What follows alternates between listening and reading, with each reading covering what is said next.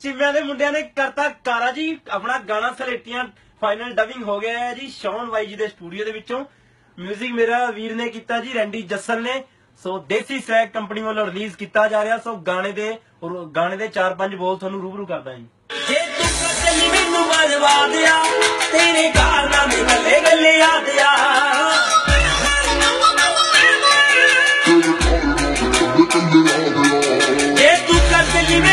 ਮੈਨੂੰ ਦਿਆ, ਉਹ ਤੇਰੇ ਕਾਰਨਾਮੇ ਗੱਲੇ ਗੱਲੇ ਯਾਦ ਆ ਓ, ਛੱਡ ਮੈਂ ਇਹ ਗੱਲਾਂ ਸਾਰੀਆਂ ਲਪੇਟੀਆਂ ਦਿੱਤੀਆਂ ਮੈਨੂੰ ਦੇਖਿਆ ਤੂੰ ਛੁੱਟੀ ਹੁੰਦੀ, ਖਾਂਦੀ ਸੀ ਜਲੇਟੀਆਂ ਦਿੱਤੀਆਂ ਮੈਨੂੰ ਦੇਖਿਆ ਤੂੰ ਛੁੱਟੀ ਹੁੰਦੀ, ਖਾਂਦੀ ਸੀ ਜਲੇਟੀਆਂ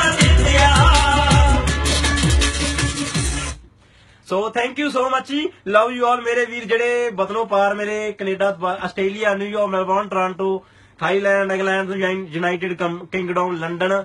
So Italy ਵਾਲੇ ਮੇਰੇ ਵੀਰ, ਬ੍ਰਾਜ਼ੀਲ ਵਾਲੇ, ਸੋ ਲਵ ਯੂ ਆਲ ਜੀ, ਦਿਲੋਂ ਥੈਂਕ ਯੂ ਸੋ ਮਚ